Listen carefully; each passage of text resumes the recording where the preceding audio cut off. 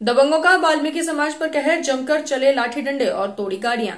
मैनपुरी में शराब के नशे में धुत होकर दबंगों ने वाल्मीकि समाज के परिवार को टारगेट कर जमकर पत्थरबाजी की और घर के बाहर खड़ी गाड़ियों में तोड़फोड़ कर डाली। दरअसल मामला थाना कुरावली के ग्राम तरौली का है, जहाँ बीती शाम वाल्मीकि परिवार के कुछ फौजी होली की छुट्टी पर अपने घर आए हुए थे। आरोप है कि इसी बीच गाँव के ही कुछ क्षत्रिय लोग अचानक घर में घुस आए और लाठी डंडों सहित पथराव करने लगे।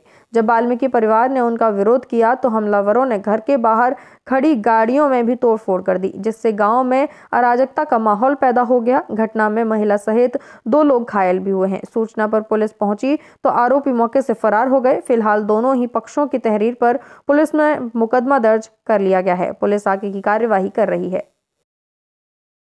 थाना कुरौली के तरौली गाँव में कल करीब साढ़े सात बजे के लगभग दो पक्षों में झगड़ा हुआ जिसमें एक पक्ष वाल्मीकि समुदाय से है और एक ठाकुर समुदाय से है।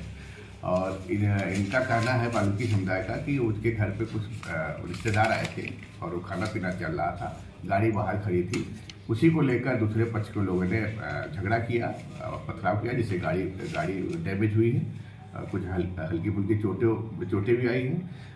उनकी तहरीर के आधार पर मुकदमा लिखा गया है। दूसरे पक्ष ने भी अपनी मेडिकल कराया, उनको भी हल्की चोटें है, उनका भी अभियोग दर्ज किया गया है। दोनों में निष्पक्षता के साथ तत्परता से विधिक कार्रवाई सुनिश्चित की जा रही है।